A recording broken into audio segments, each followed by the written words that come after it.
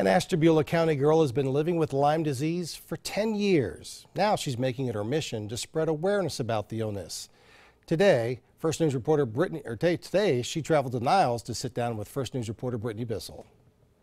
It all started when Megan Tilton was 12 years old. She went on a weekend trip with her family. I came down with what we thought was the flu. Um, I had a lot of like fatigue, fevers, chills, nausea. Um, felt really weak. My heart started to race really fast. The flu-like symptoms went away, but the heart issues were persistent. For the next three years, Megan went from doctor to doctor, desperate for a diagnosis, not getting any answers. It was a hard few years.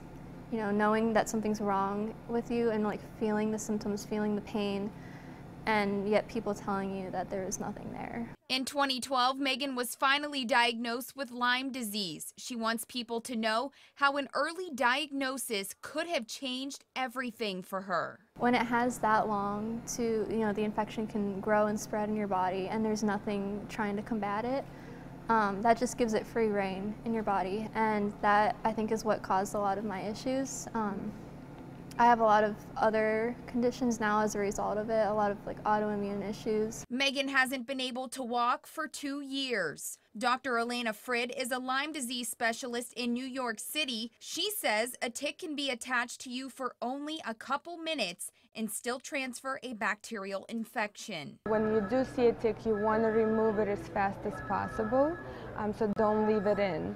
Uh, and uh, the best way is to take uh, tweezers, sharply pointed tweezers, uh, get uh, as close as you can to the head, pull up gently without squeezing the head and wait for the tick to let go. Dr. Frid says six to eight weeks after exposure is the best time to get tested. You can also send the tick off to a lab to get checked. Brittany Bissell, WKBN 27 First News.